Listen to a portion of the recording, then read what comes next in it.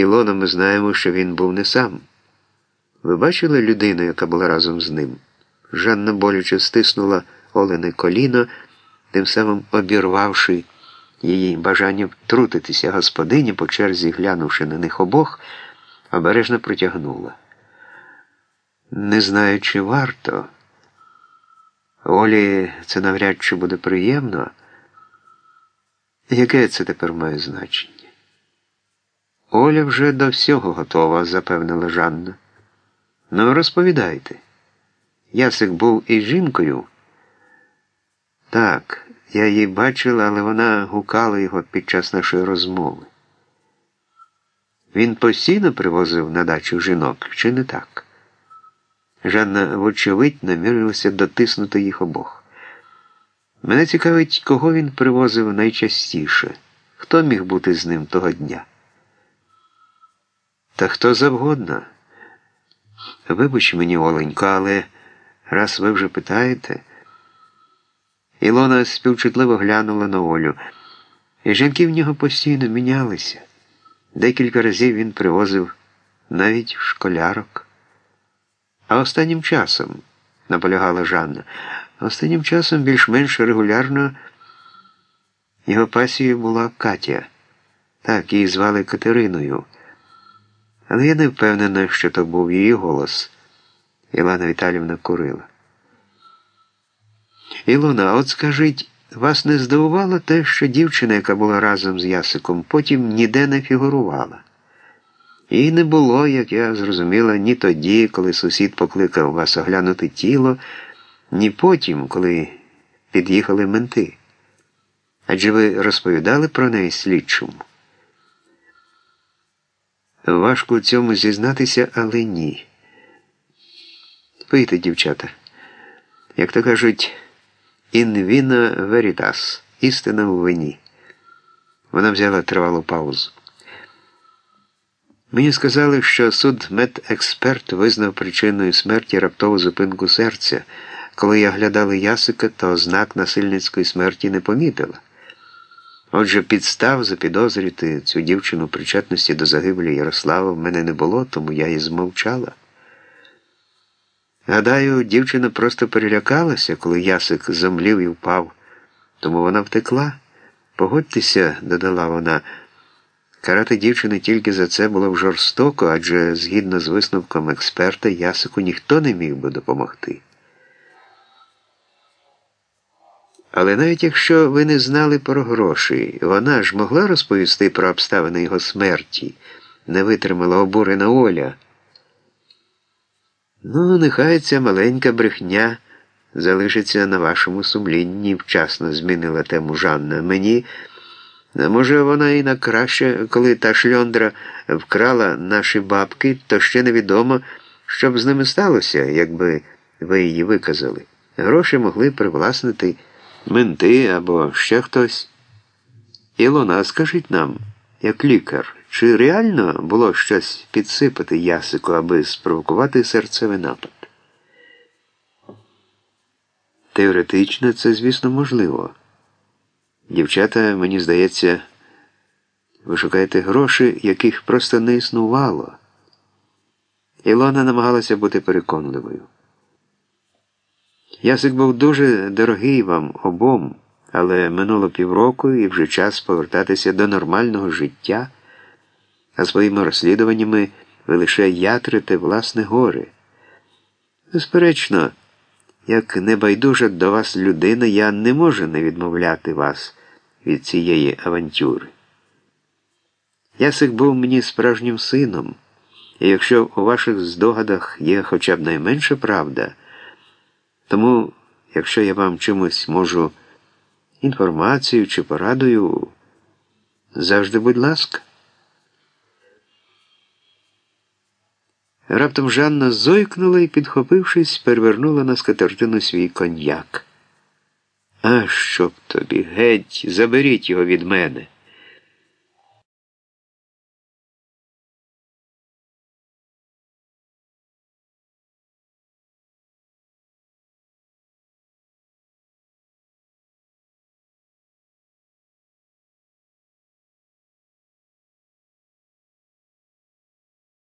Ілона Віталівна, сміючись, нахилилася, зазирнувши під скатертину, і покликала свого улюбленця. Киць, киць, киць, Маркізе, маленький, ну йди на сюди.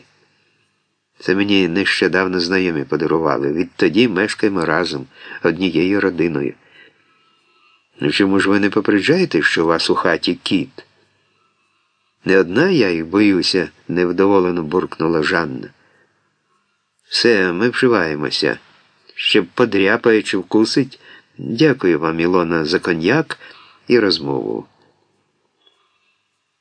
Не втримавшись, Оля почухала за вухом пухнастого маркіза, який вже вмостився на руках у хазяйки, і попрямувала за подругою. Поки вони взувались, Ілона Віталівна взяла з них обіцянку повідомляти їй щонайменше новини. Проте вона могла цього й не робити, бо і Оля, і Жанна визнавали за нею моральне право дізнатися, що сталося з Ясиком.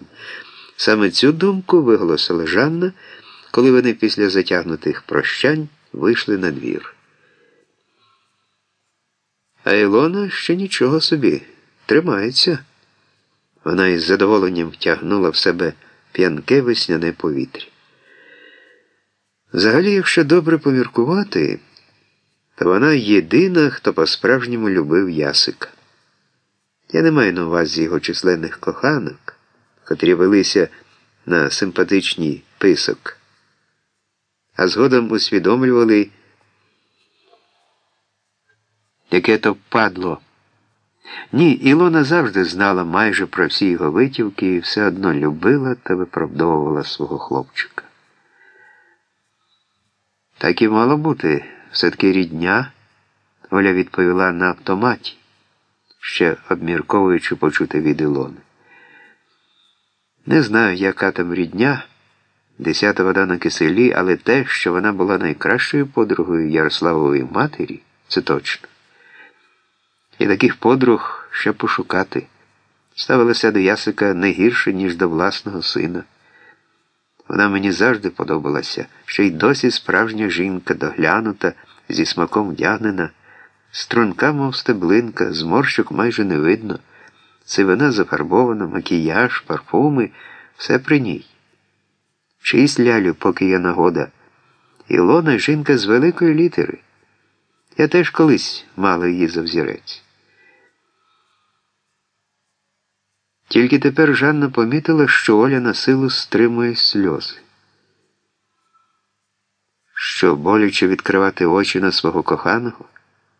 Нічого, тобі це корисно. Припини нарешті. Він же помер. Гаразд, гаразд. З тебе на сьогодні вистачить. Я уявляю, як ти зараз почуваєшся, бо сама через це пройшла. За жаданою брутальністю на мить промайнуло співчуття. Їдь додому і домовся про зустрічі із Славиком. А на Ілони не ображайся. Як не вона, то хтось інший розповів би тобі про грішки чоловіка. З Ілоною краще не сваритися. Вона нам ще знадобиться. Розумна жінка. Бувай, лялю. І повір мені, додала вона, ясик не вартий твоїх сліз.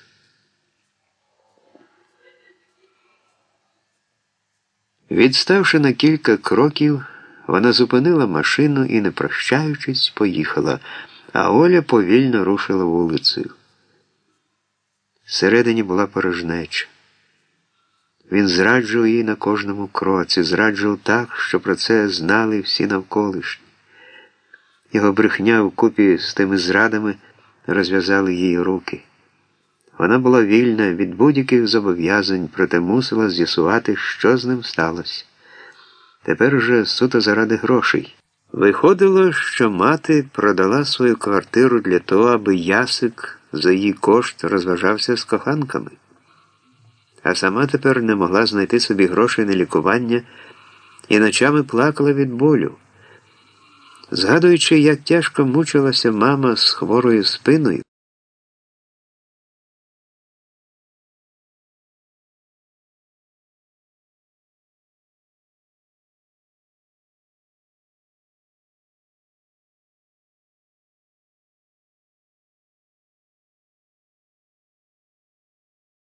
Та весняними пахощами і набираючи сил для справи, в успіх якої до кінця не вірила і на яку ніколи б не зважилася, якби не перша дружина її чоловіка. Вийшовши з ванної, Жанна загорнулась у халат і блаженно розляглась на канапі. Завчасно приготована кава вже очікувала на столику поряд, і вона повільно, смакуючи кожним ковтком, випила всю чашку. Ще хвилин десять присвятила автотренінгу, запевняючи себе у власних безмежних можливостях і райдужних перспективах. Відтак попрямувала до дзеркала накладати макіяж. Вже багато років вона свято додержувалася такої церемонії. Можливо, навіть саме цей нескладний обряд втримував її від божевілля у найжахливіший період життя, і саме ці кілька хвилин після душу примушували Жанну знову відходити сили, щоб прожити ще один шалений день. Доля не надто пестила її, хоча на світанку життя ніщо цього не провіщало. Батьки любили її донестями, вважаючи найрозумнішою і найталановитішою. Цьому не завадило навіть те, що у 9 класі Жанна закинула навчання, заявивши, що присвятить себе малюванню. Тато з мамою у цій витівці знов уздріли ознаку геніальності і змовчали, коли дочка відмовилася вступати до художнього інституту, мотивуючи це бажанням стати вільною художницею. Жанна так ніколи і не дізналася, чи мала шанси чогось досягти у цій царині, бо коханню судилося зруйнувати усі її чистолюбні плани.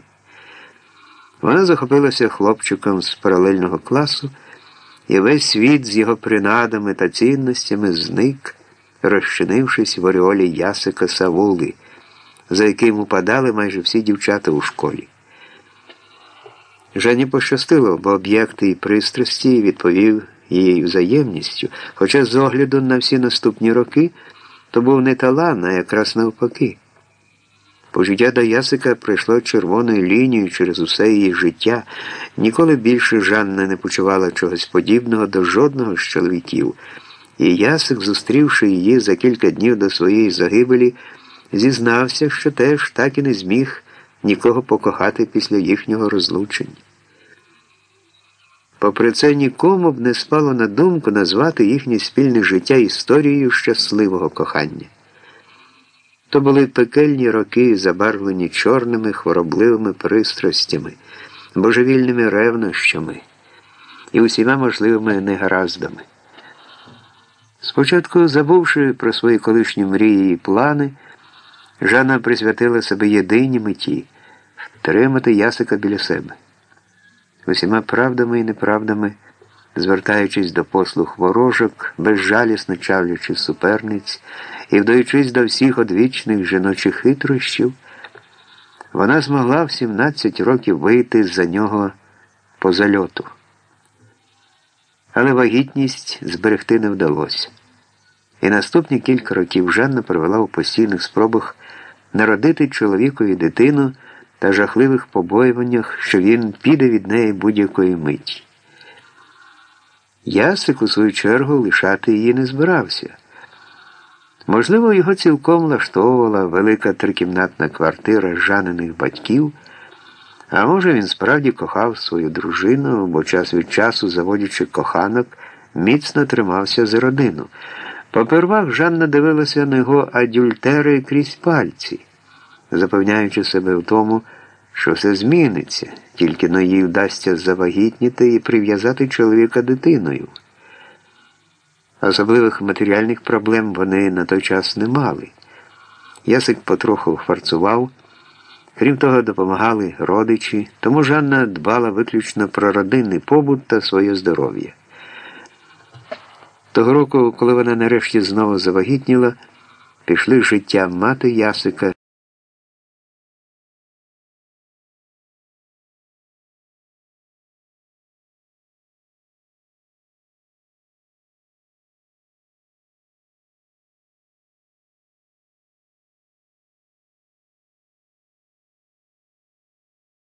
Бо дитина зв'язала її по руках і ногах. Ясик пропадав у шоптурах, не з'являючись вдома по кілька тижнів, і Жанна відчувала, що втрачає його. Аж раптом Ясику спала на думку розпочати власний бізнес. І він заходився вмовляти дружину продати батьківську квартиру, щоб отримати початковий капітал. Це здалося їй справжнім подарунком долі, реальним шансом назавжди прив'язати його до себе. Підкоряючись чоловікові і радіючи несподіваній можливості стати для нього у чомусь корисною, Жанна, переповнена сподіваннями, в'їхала в найману двокімнатну, дозволивши Ясику купити на квартирні гроші омріяну іномарку і оновити свій гардероб. Решту суми він вклав у якийсь гешефт. Та який слід було очікувати, зазнав невдач. Дуже скоро їм довелося приїхати в тісну кімнатку готельного типу, яку залишила Ясику мати, бо наймати житло вони вже не могли.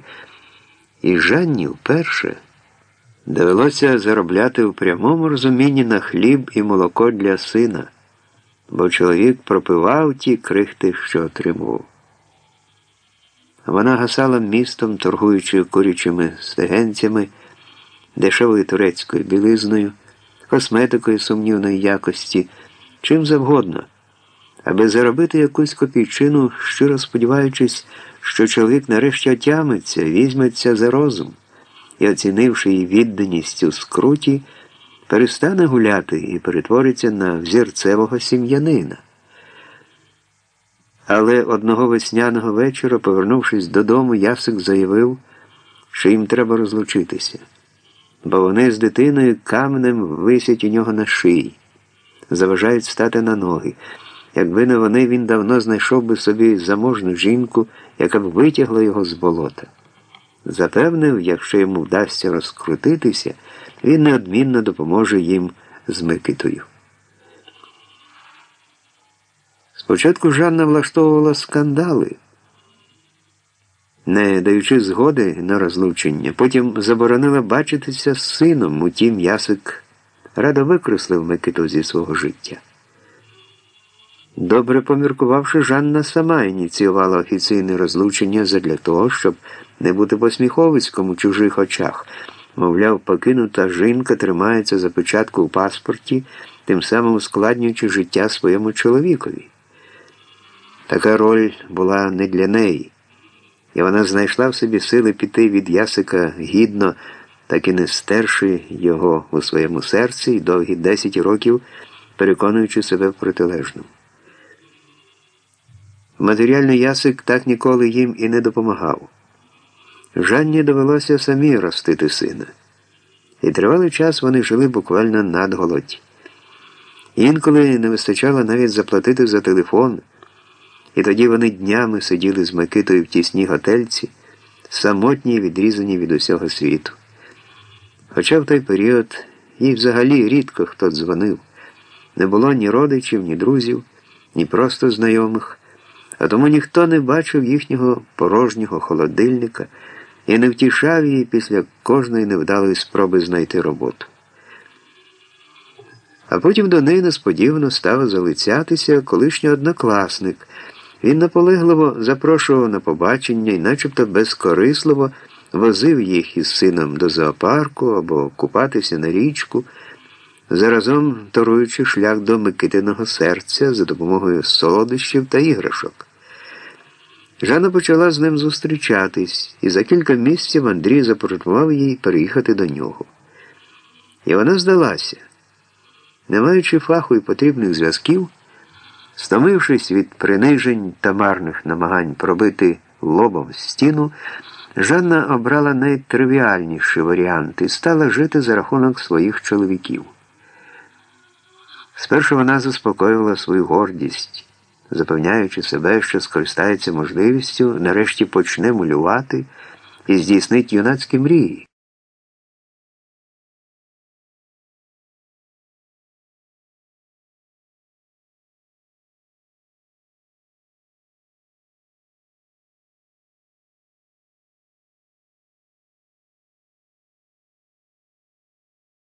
Вона залишала їх одного за одним, бо жодного не кохала. Вона відігравалася на них за всі ясикові образи, ані трохи не переймаючись, чи залишиться цей чоловік з нею. Здебільшого ці стосунки були тривалими. Їх можна було вважати цивільними шлюбами, але Жанна вперто продовжувала називати своїх партнерів коханцями, визнаючи цим, принаймні перед собою, що мала лише одного чоловіка. За кілька тижнів до загибелі Ясика вона розлучилася з людиною, з якою прожила разом три роки, і, прихопивши сина та спакований у валізи нехитрий скарб, переїхала до пошарпаної готельки, єдиної своєї власності. Лежачи цілими днями на проваленій канапі, Жанна підбивала підсумки свого недоладного життя. Колись вона мріяла прославитися, розвінчати міф про те, що жінка не може складати в мистецтві гідну конкуренцію чоловікам. Стоячи перед Мольбертом, вона відчувала безкрає всеосяжне щастя. Тоді її існування мало не тільки сенс, а й смак. А тепер не залишилося нічого, крім нездійснених мрій і жодних виходів з глухого кута.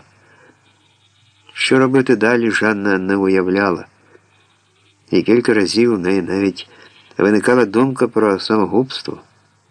Але жага життя була потужніша за всі депресії. До того ж існував Микита, який все ще потребував у матері.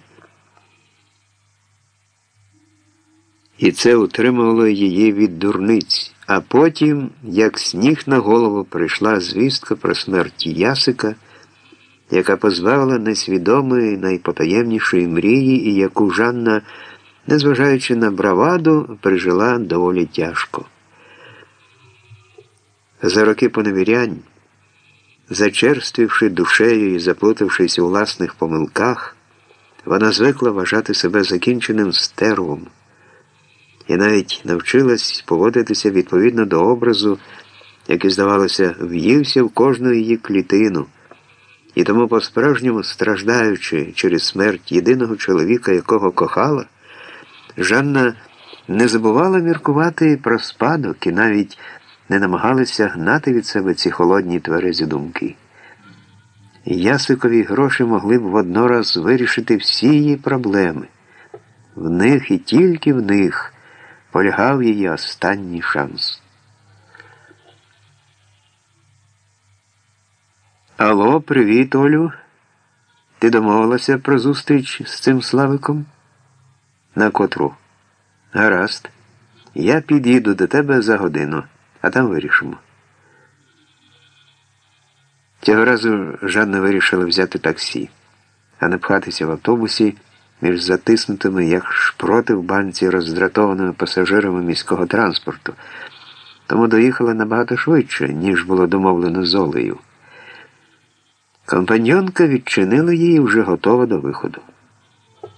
Давай мерщій, ми поспішаємо. Оля похапливо зачинила двері і побігла вниз, перестрибуючи через дві сходинки. Щойно телефонував Славик і заявив, буцімто в нього змінилися плани. Ми ще встигнемо його перехопити, якщо поквапимось. Який люб'язний. Жана відразу помчала вслід за Олею. Добре, хоч попередив. Вони прожогом вискочили на двір і, розмахуючи руками, зупинили допотопні Жигулі. Домовившись з водієм про ціну і назвавши адресу, Жанна відкинулася на сидінні. А Славко підтримував з тобою стосунки весь цей час. А як же? Кілька разів телефонував, запевнила Оля. І з 8 березня привітав. З 8 березня це просто верх турботи, вона іронічно гмикнула. Їдьмо вмирає від бажання подивитися на цього вірного приятеля. До речі, я зустрівся вчора з Сергієм, головним.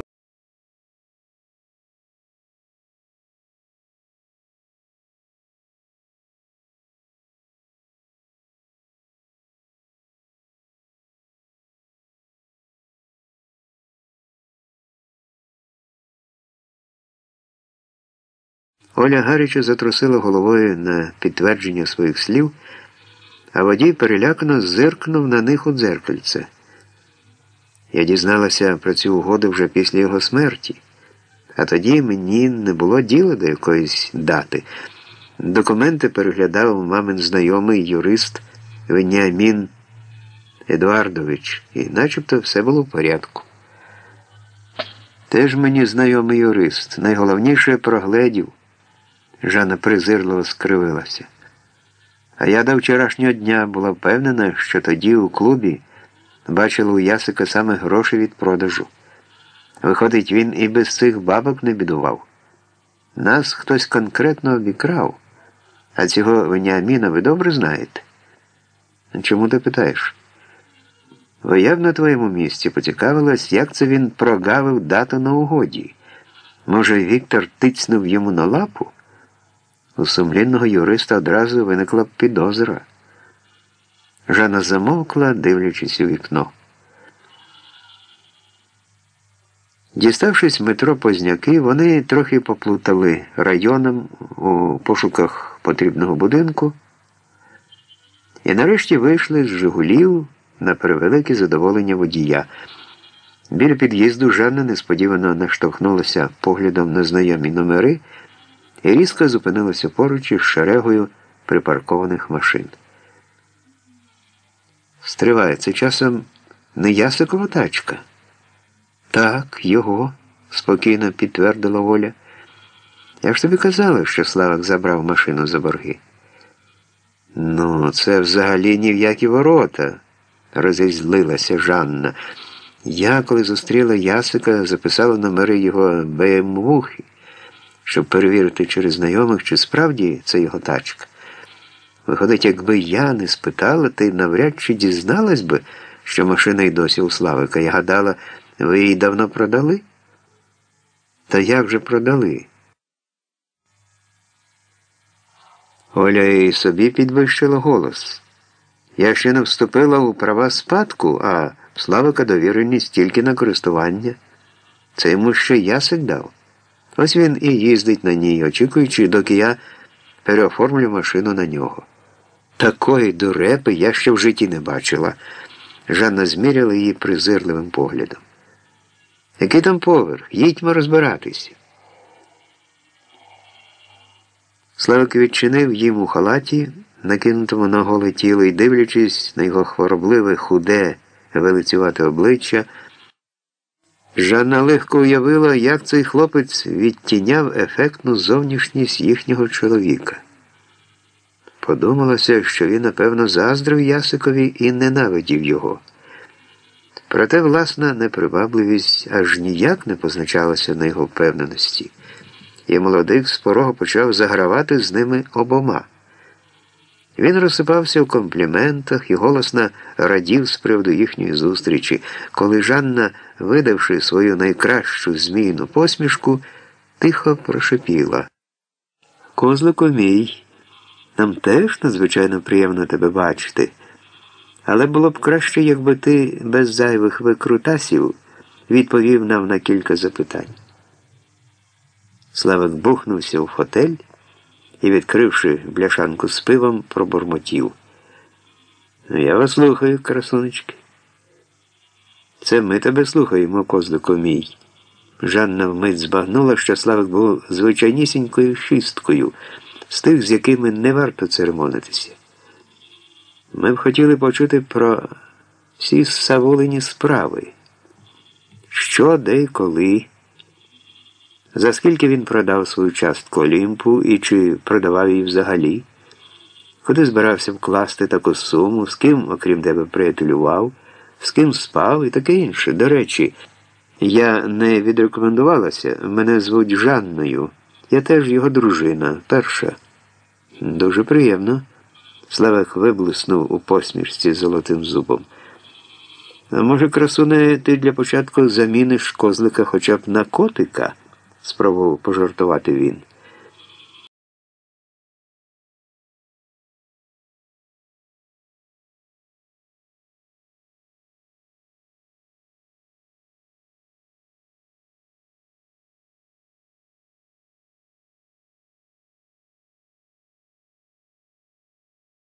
Славик неохоче почав.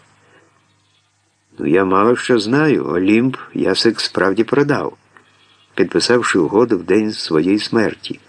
Це мені достеменно відомо.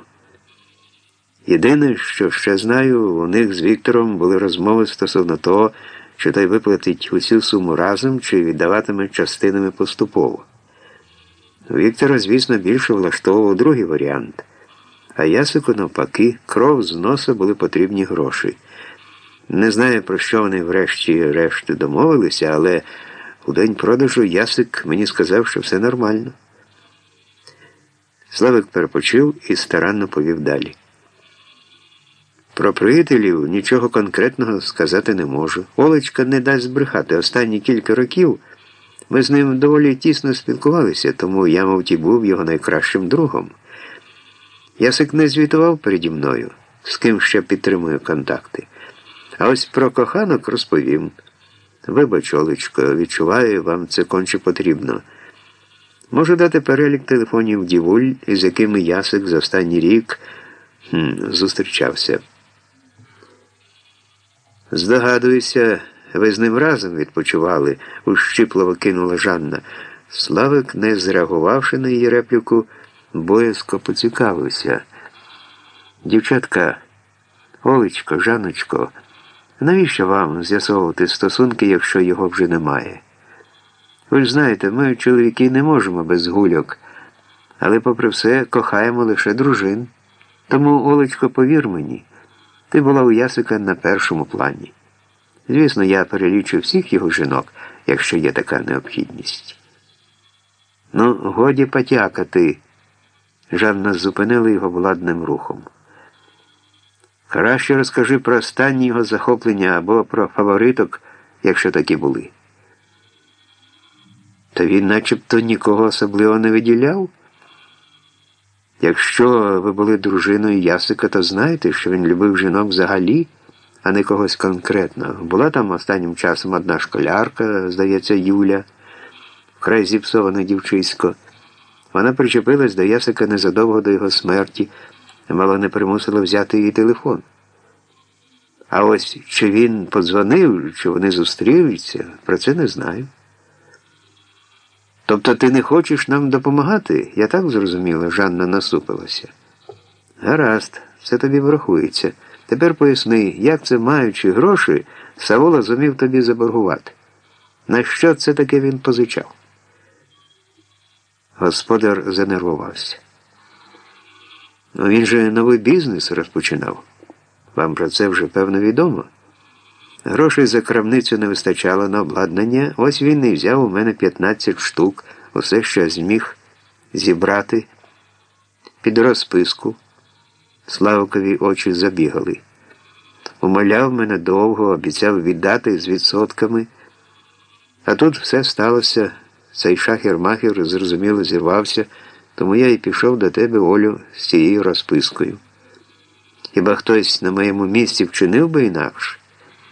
Тож мої кровні, я за них горбатився, по долару відкладав.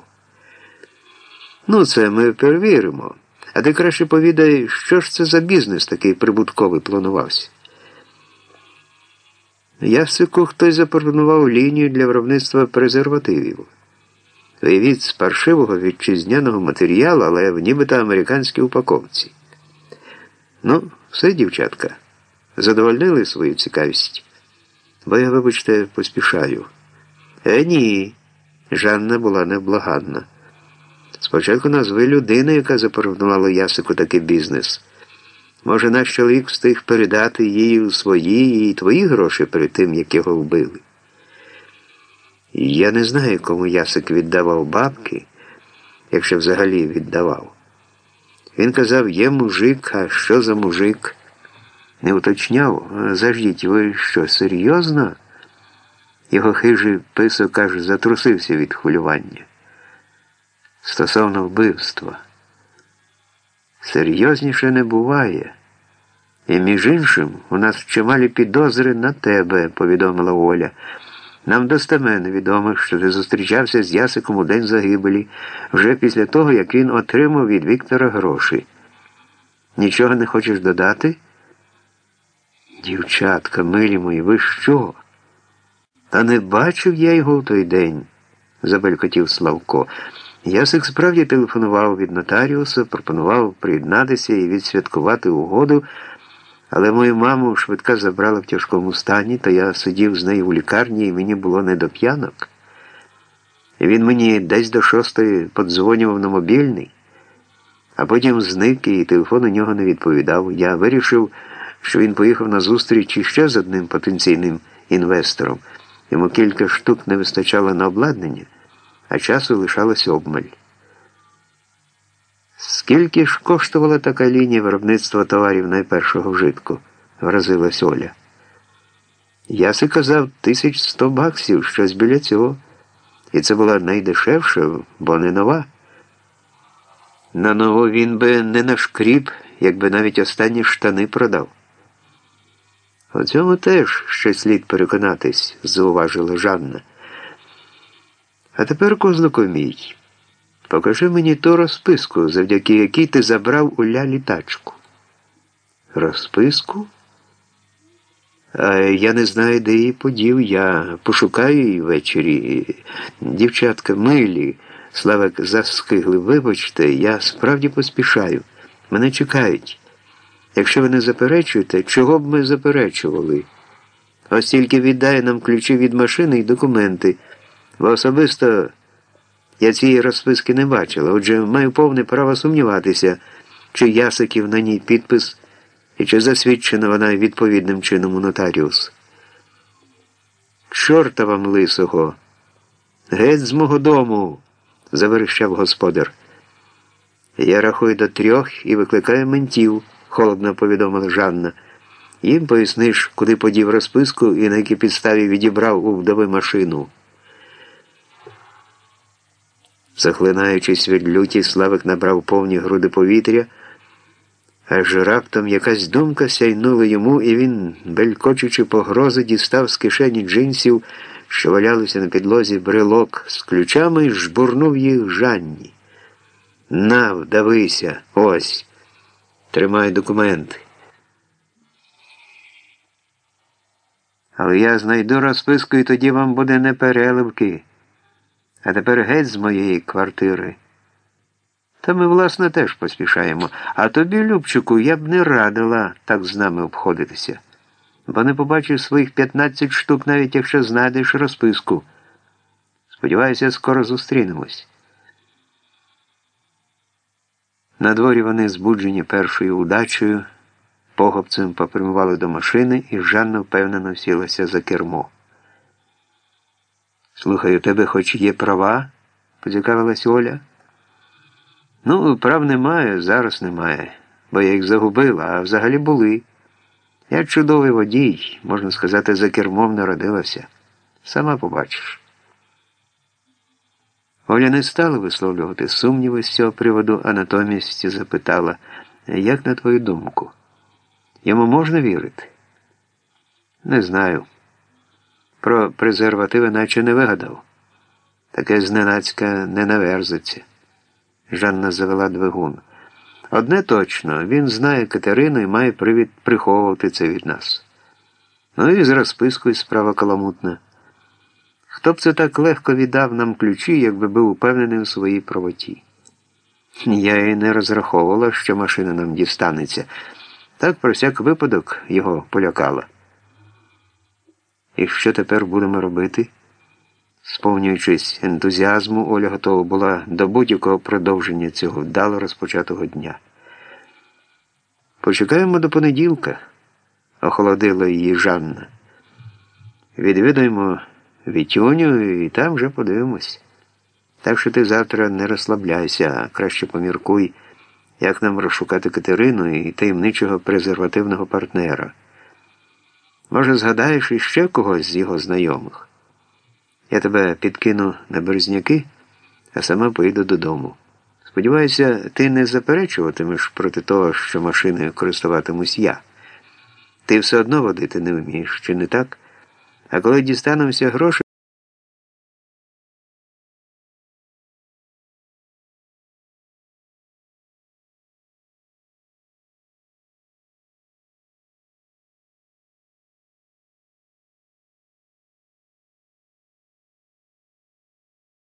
Якась там машина була за це просто смішною ціною.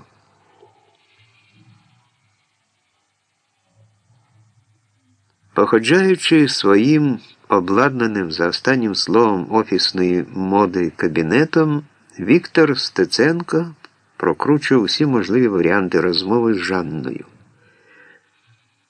За 10 хвилин він мав бути у масажиста.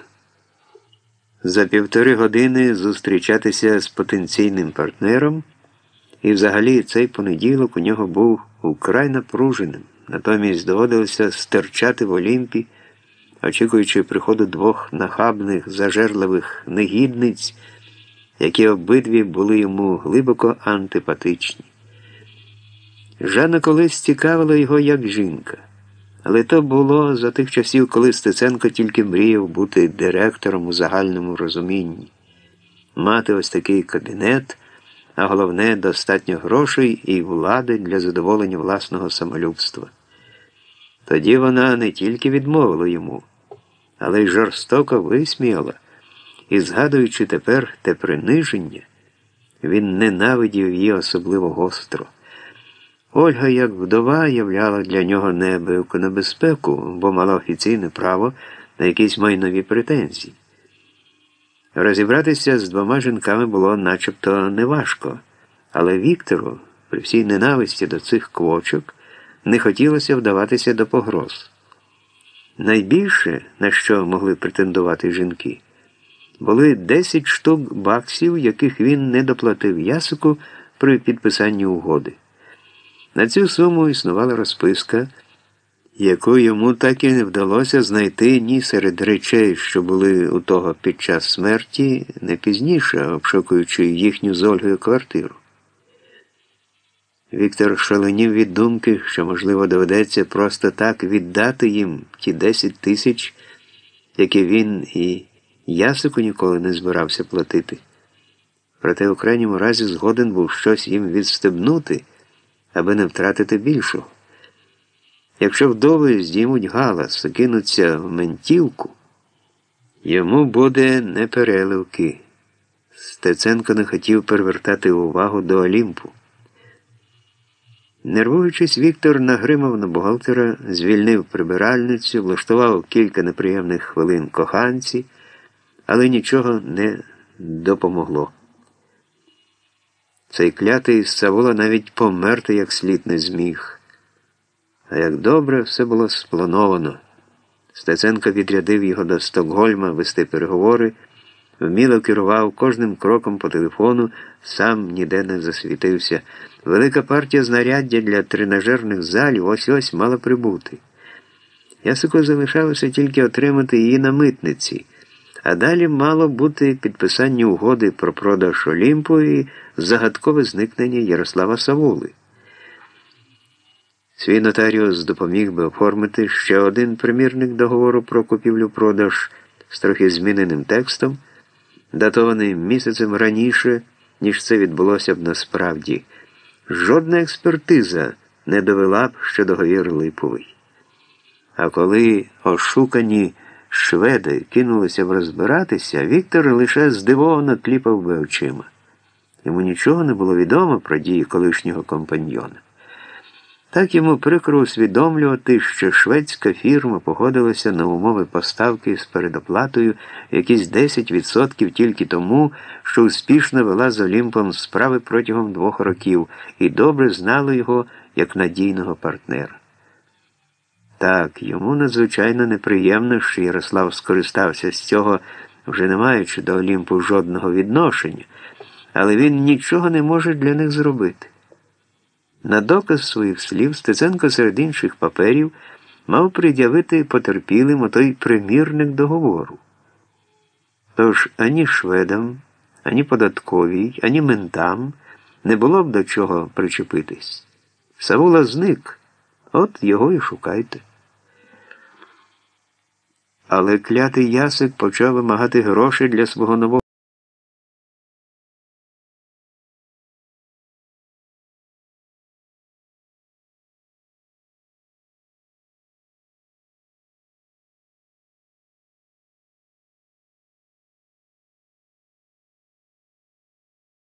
І не міг пробачити колишньому приятелеві кількох запеклих сутичок, які відбулися до того, як Стеценко спало на думку кинути шведів.